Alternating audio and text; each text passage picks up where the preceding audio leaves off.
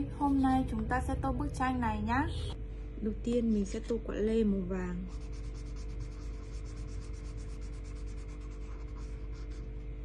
Sau đó sẽ tô quả táo.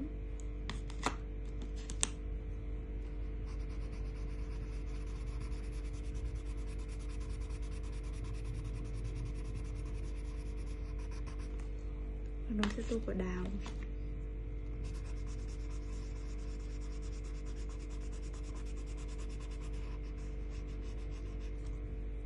我就走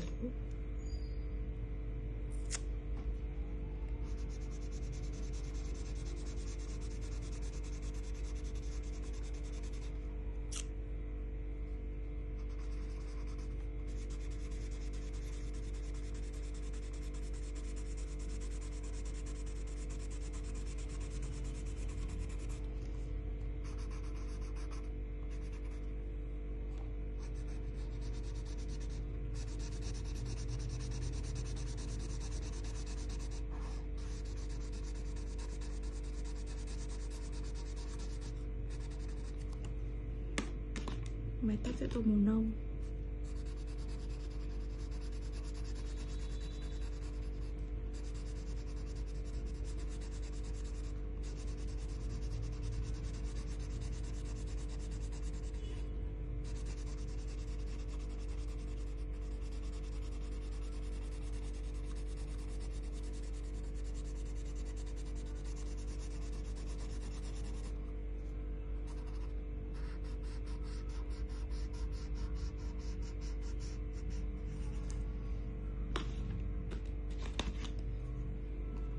Cái này sẽ tô màu xám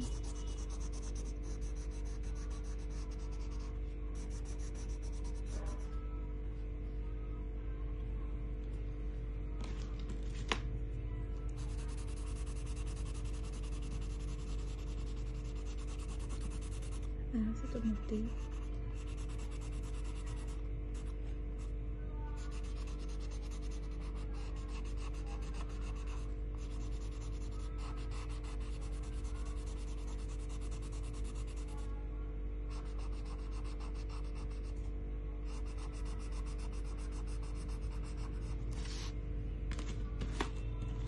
quần sẽ tô màu này.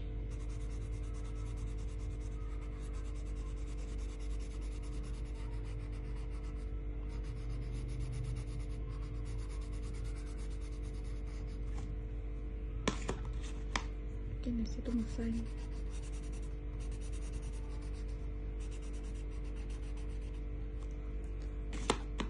Ghế ghế sẽ tô màu uh, nâu.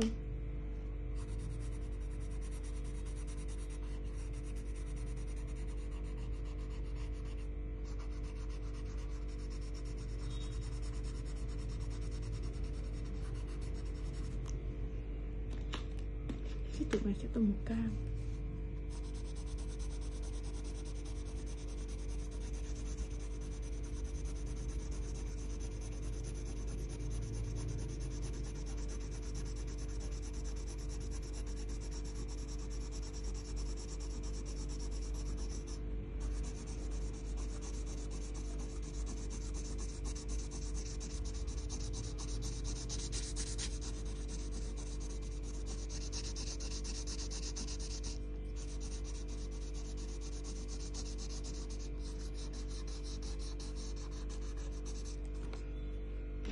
thêm cửa này sẽ tô màu xanh.